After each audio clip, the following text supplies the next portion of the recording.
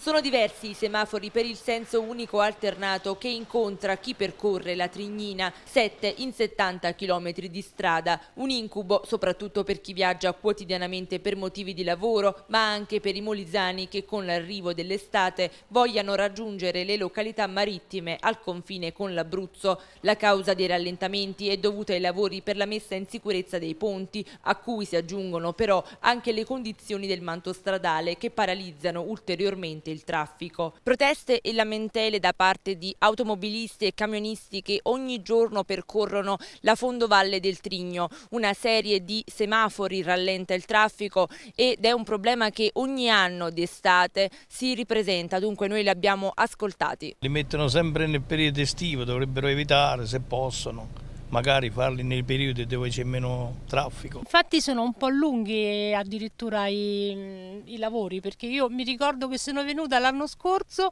e mi sono fermata esattamente qua. Vabbè certo bisognerebbe velocizzarli un pochino però. Fa perdere solo tempo. I lavori li dovrebbero fare di notte come in Germania.